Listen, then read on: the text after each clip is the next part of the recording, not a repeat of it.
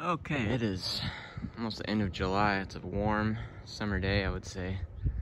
Close to about the mid 80s. My tall fescue mixed with a little Kentucky bluegrass. It's got a couple of stress areas, but my RTF, it's a tall fescue that uh, can regenerate.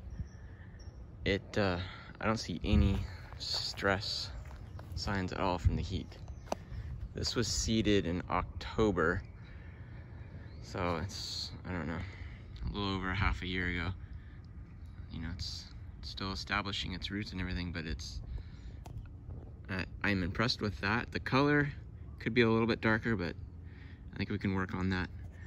Um, yeah, that's just a bummer that uh, my more established sod um, has some stress to it in comparison to the RTF.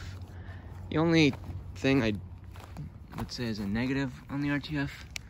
Um, besides maybe the color is not as dark as I would like it to be. Um, and it's maybe the blades are a little bit wider. Um, it's got that wide, tall fescue look to it. But uh, if you're looking for a pretty nice lawn that uh, probably does pretty well in drought conditions, this could be the grass seed you.